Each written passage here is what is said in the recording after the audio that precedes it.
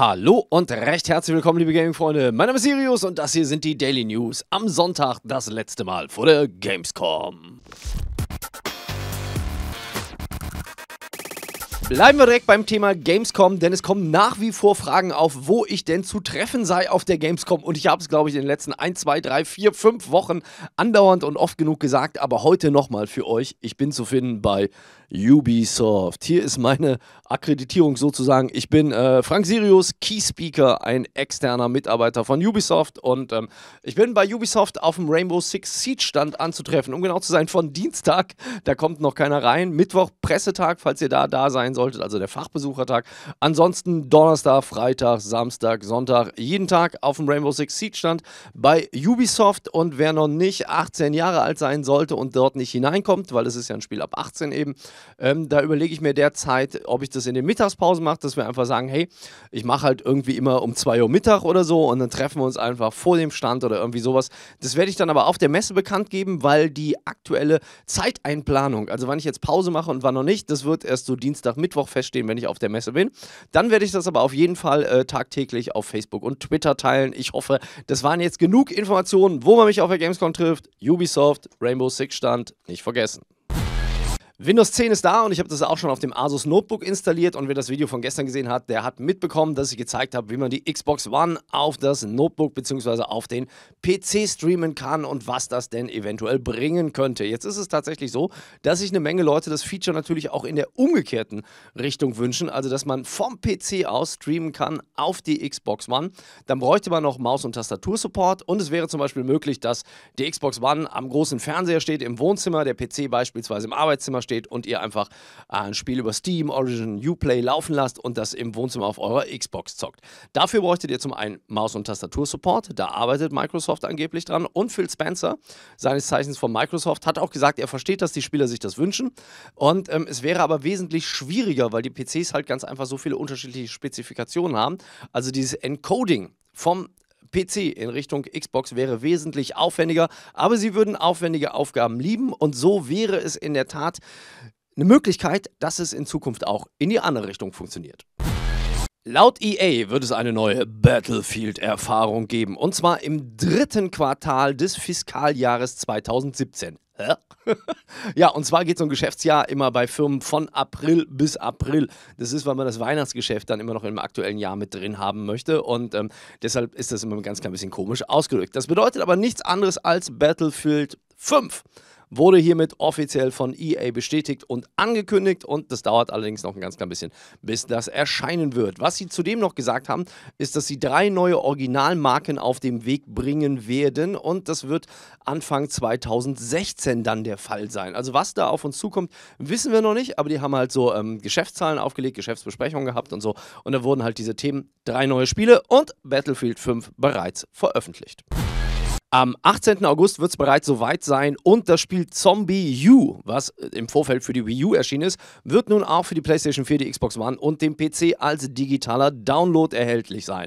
Und das Ganze wird eben so eine Neuauflage von dem Zombie-Spiel für die Wii sein, weil das ähm, im Vorfeld auf dieses Touchpad ausgelegt hat, wird das Spiel ein ganz klein bisschen modifiziert. Und Ubisoft sagt des Weiteren auch, dass sich das halt eben den ähm, neuen Konsolengenerationen anpasst, was ganz einfach bedeutet, dass die Grafik vermutlich aufgebohrt ist, damit damit ihr eine noch bessere Horrorerfahrung haben könnt. Für Star Wars Battlefront wurde dann auch noch ein neuer Spielmodus bekannt gegeben und der nennt sich da Blast. Das bedeutet, glaube ich, so viel wie Gefecht, wenn mich nicht alles täuscht. Und das ist ganz einfach ein 10 gegen 10 Multiplayer Deathmatch, bei dem man 100 Kills erreichen muss oder das Spiel läuft halt je nachdem 10 Minuten lang und wer dann mit den Kills führend liegt, ist halt der Gewinner. Meines Erachtens ist immer diese Sache Team Deathmatch ist für mich so der langweiligste Modus. Entschuldigung, liebe Freunde bei Electronic Arts, aber so Deathmatch ist wirklich was, was ich gar nicht brauche. Aber ich weiß weiß auch genauso wie vermutlich der Publisher, dass das ein sehr beliebter Modus ist. Spielt ihr gerne Deathmatch in Multiplayer-Matches? Techland hat sich jetzt nochmal zum kommenden Dying Light DLC Following geäußert. Und sie haben gesagt, dass Following selber genauso groß sein wird wie zuvor alle Maps in Dying Light. Zusammen. Das Ganze wird für die Season Pass-Besitzer umsonst sein. Wann das Teil rauskommt, gibt es derzeit noch nicht. Auch was das separat kosten wird, weiß man auch nicht. Vermutlich gibt es dazu erst Infos auf der Gamescom.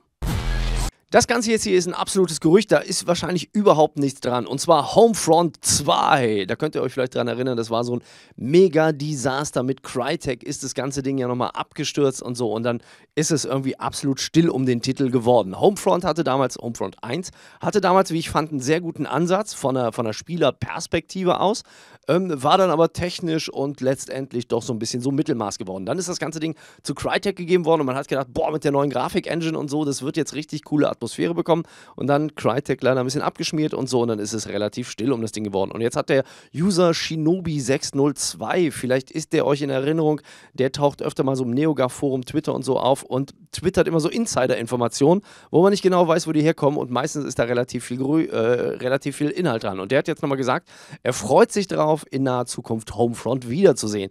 Das könnte man jetzt so deuten, dass die Homefront 2 auf der Gamescom zeigen. Ich glaube es aber nicht.